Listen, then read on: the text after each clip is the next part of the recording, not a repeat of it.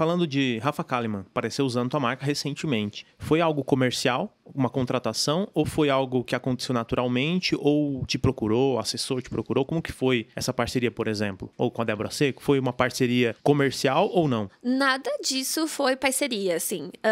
O que aconteceu? Eu acho que a primeira pessoa ali que começou a comprar de mim foi uma surpresa, foi a GK. Ela.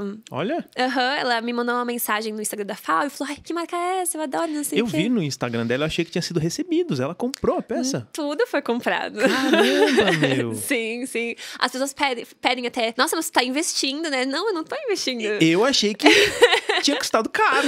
Não, eu, eu vendi, são todas peças vendidas. Olha só. Aham. E É. como que. Beleza, agora saímos da Kalimann pra GK. Ah, é, daqui eu vou, vou seguir lá. Mas, não, mas vamos pra GK e depois a gente volta na Kalimann. Como que foi ver o pedido dela no site? Foi muito louco. Conta essa história pra mim, porque eu já passei por algumas situações que é. Conta pra mim isso aí. Não, foi assim, eu, eu, ela mandou uma mensagem no, Instagram, falou, ah, que marca é essa, linda, não sei o quê. Falou, ah, eu quero esse, esse, esse. São, eram umas três peças da linha Atelier, então elas não estavam no site, né? Algumas da linha Atelier eu falo diretamente uh, com o cliente, porque tem que ver medidas, de tecido e tudo mais, então uh, lido diretamente com a pessoa. E aí eu falei, tá, vou fazer e tudo mais, esse é o valor, passei, ela falou, tudo certo, pode fazer. Foi ela que te chamou no Instagram? Foi. Chamou no da marca, no caso. Na marca da Falfi. é. Ela mesma chamou. Ela no Instagram mesma. dela. Sim. prints.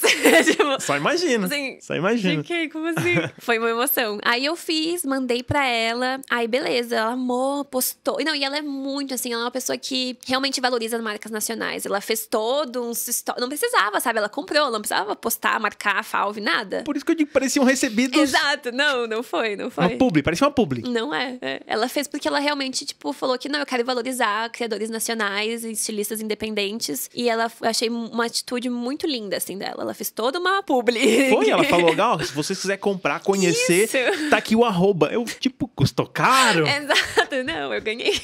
Que legal. E aí Na- depois- na- é. Não foi um presente, foi um reconhecimento. Foi um reconhecimento, é. Foi um Isso, reconhecimento. isso que é importante. Pô, não foi alguém que falou da marca pra Não. ela, uma ponte, um network, que também é legal, funciona. Sim. Mas isso aí foi o auge, né? Foi, foi bem, foi bem legal. E aí, depois disso, ela continuou comprando normalmente no meu site. Então, de vez em quando, eu olho lá, GQ, e eu fico, ah, no meu site. Eu ai, meu Deus. Print de tudo. Sim, mãe, olha aqui.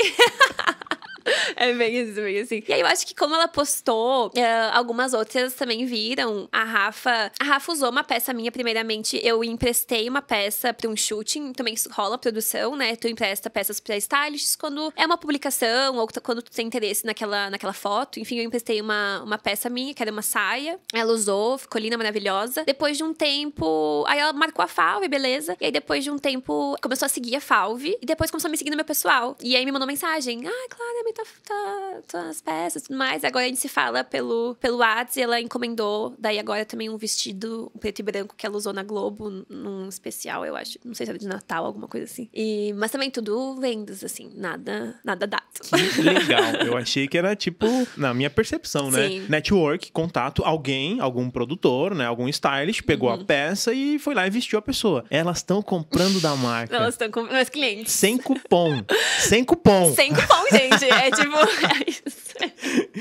Que É. legal, que Hum, legal. Bem legal. Eu acho que tu deve ter alguma coisa na tua cabeça com relação a isso, mas ao que tu remete? Ao produto, à marca, ao trabalho que tu fez no Instagram que tá incrível? O que, que tu remete isso dessas pessoas quererem usar a tua marca? Eu Ou foi aquele virada de chave ali daquela pessoa usando lá no desfile da Vogue, que foi o nome é Qual? a pessoa que tava usando no A Letícia Muniz. Letícia. O que, que tu remete a esses, esse, esse desejo dessas famosas usarem a tua marca? Eu acho que é difícil tu atribuir tudo isso a um fator único, né? Eu acho que uma boa marca, ela tem um trabalho redondo, né? Tudo tem que conectar. Então, a roupa tem que estar boa, o styling tem que estar bom, a foto tem que estar boa. Eu sou uma pessoa que se mete em tudo. Inclusive, eu faço muito das edições, das pós-edições das fotos. Eu me meto em, da, dos editoriais. Photoshop. Sim, Tá adoro. brincando? Não, eu adoro. Assim, bem amadora, tá, gente? Mas assim, eu me viro, eu me viro. Ah, bem amador, igual tá o Instagram lá. Mas tipo, tu dá o teu espetáculo, então. Ah, não, peraí, deixa eu dar uma olhada aqui, vou melhorar isso Muito. aqui. Eu tenho um fotógrafo que eu, eu trabalho com ele direto. Eu, eu, te- eu tenho esse problema. Tu tem? Que é um problema, né? A gente deixa as pessoas fazer, mas aí, o cara tá lá incrível. Não, mas pá, reduz essa cor, troca É, essa cor. ah, um pouco mais vermelho. um pouquinho aqui.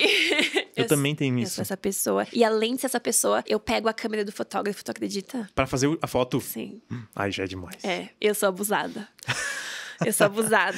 Então a tua marca tem a Mateus, tua obrigada. identidade desde o, do- o croquis até a foto. É, eu gosto muito, por isso que eu falei que eu sou muito ligada no audiovisual, assim. Eu gosto muito de bater foto, eu gosto de gravar vídeos, eu gosto de editar vídeo. Então eu sou muito metida em tudo. Eu, obviamente, tenho co- colaboradores, deixo eles fazerem o trabalho deles. Não, gente, pelo amor de Deus. Mas eu gosto de estar envolvida em todo o processo, então, porque tem que estar perfeito. E a imagem é muito importante. Eu gosto de fazer pequenos shootings, ah, lança um produto novo, vou fazer um editorial como se fosse de revista. E aí eu acho que isso tudo atrai essas pessoas que têm já um olhar estético mais apurado, né? Óbvio, o produto é muito bom, o produto tem uma modelagem diferente, ele é- não encontra, assim, outra peça igual, mas eu acho que é o universo de marca, né? Eu acho que gente- eu falo muito sobre o universo de marca e eu tento muito, assim, esse ano, ah, esse ano mais ainda, de conseguir passar isso pela, pelo Instagram, enfim, para as pessoas entenderem do que que eu tô falando, sabe? Qual que é a estética, por que que eu tô fazendo isso. E ano que vem vai estar ainda mais óbvio.